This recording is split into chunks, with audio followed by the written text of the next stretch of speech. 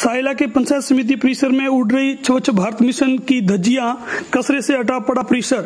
साइला पंचायत समिति के सभागार में हर बैठक में स्वच्छता का पाठ पढ़ाया जाता है, मगर समिति परिसर में बने शौचालय की गंदगी से अटे पड़े हैं व परिसर में भी कचरे के ढेर लगे हुए हैं। मगर इस ओर ध्यान नहीं दिया जा रहा है, जिससे पंचायत समिति में आने वाले लोगों को परेशानियों का सामना करना पड़ रहा है।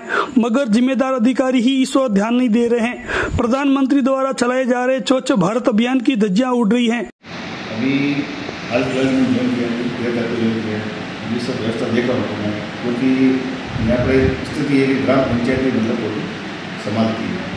तो यहाँ पर नगर निगम का है नहीं, इसलिए ग्राम पंचायत अक्सर आते हुए कहा था कि भाई कुछ सब सफ़ाई करे हुए हैं लेकिन काफ़ी संख्या में लगे हुए हैं। तो उससे थोड़ा हमेशा कुछ, यहाँ पर हवा का प्रकोप ऐसे में थोड़ा धूल वगैरह ज़्यादा होती है। इस सब थोड़ा ये हो जाता है। फिर यहाँ पर हमारे आधार कार्ड केंद्र बना हुआ है। पब्लिक आती है और पब्लिक को मर्ज़ी पर आपको कर देती है। नहीं जो यहाँ कचरा साफ़ सफ़ाई करके एक तो सामने ही इकट्ठा किया है। इसको अगर दूसरी जगह से यहाँ कचरा पात्र डाल दिया जाए। व्यवस्था शौचालय वो भी एकदम से इतने गंदे शौचालय हुए मैंने उसके लिए कहा लेकिन यहाँ पर ऐसी स्थिति कि आस पास में शौचालय है नहीं। जो मुझे जानकारी बताई गई है।